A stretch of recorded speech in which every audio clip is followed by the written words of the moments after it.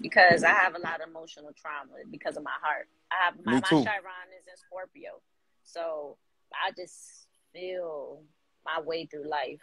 Like I'm even I'm even just to the people that's unjust to me. I wish them blessings even though they hate on me. I don't. I mean, I don't wish them bad. I don't wish them malice. No, I just I ain't gonna lie. I let them go. I ain't gonna lie. I don't. I don't wish good on people that done fucked over me. Maybe that's my problem. I'm not even gonna. I'm really not even gonna give it no energy. Like fuck you. You can die today. Like I don't care what happened to you. If you done me wrong, I mean, I, I understand. I, I felt that. I used to feel that way. But I feel like I reached a certain point in my life and peace where if you want to go about your way, you know, the universe going to do whatever it's going to do. You going to trust God, the universe, whoever you believe in is going to get in charge of whatever the fuck you did to me. look at my little baby. It's him. What you doing, baby? I'm chilling. What you doing? How you feeling? I'm feeling how you look. You must be feeling beautiful. You look so beautiful. Hey. Oh, I love your nose piercing. Appreciate you, sweetheart. It looks beautiful. Thank you. You know who that Thank you, is? baby. yourself.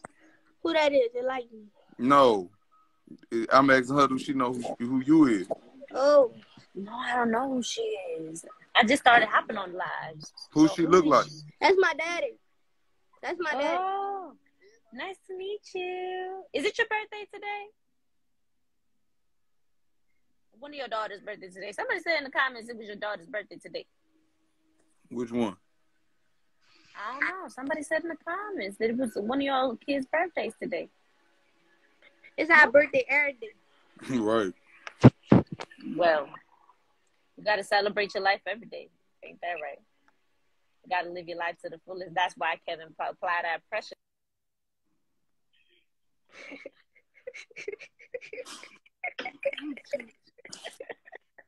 what? What? what? Nothing, dude. Yeah. You more important to me. Man. I know, but we know we, we keep it real cool and cordial with everybody. I was keeping it cordial. I know you was. I ain't gonna even lie. Yeah.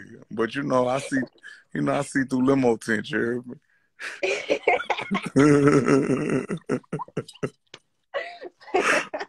God bless me with a sound mind. Man. You know, I know a lot, but I don't say a lot. yeah, let's Lord.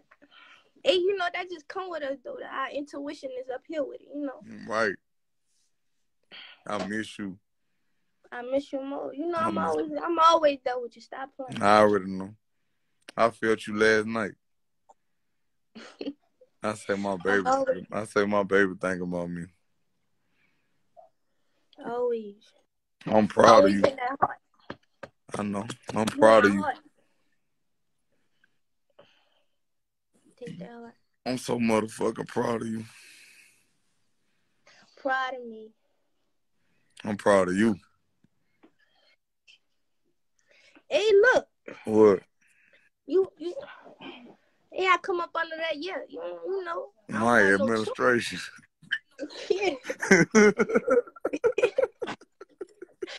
real tough. yeah. Everybody, everybody want to but when it's time to really, they ain't in compliance with that. They ain't in compliance. no, they ain't, you know. For real, What you doing? I'm chilling, about to get ready to go to work. Yep. You know. Hey, though. I love you. Mm. I'm about to get up off I love you more. If anything.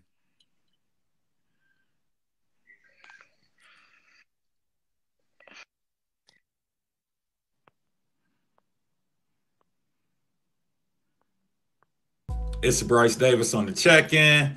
Now, in the last video, you know, we was talking about Kevin Gates having that conversation with his daughter about eating ass or whatever the case may be. You know, this time we get to see him on Instagram live with her in a different type of light. You know, it's real interesting seeing the two interact because they're just like each other, like from her mannerisms, the way she speaks, you know, just you can tell that, you know, that's Kevin Gates' daughter, you know, she carries herself in a similar manner. I think it's actually dope, you know, the relationship they have. You can tell that, you know, Gates really messes with his kids, like it ain't just for play, you know, like just by their interactions, he over there dropping jewels on her, constantly validating her, letting her know she's pretty, she's beautiful. You know, uh, I think that's really important between fathers and daughters because you don't want your daughter looking for that love elsewhere. And next thing you know, she becomes promiscuous.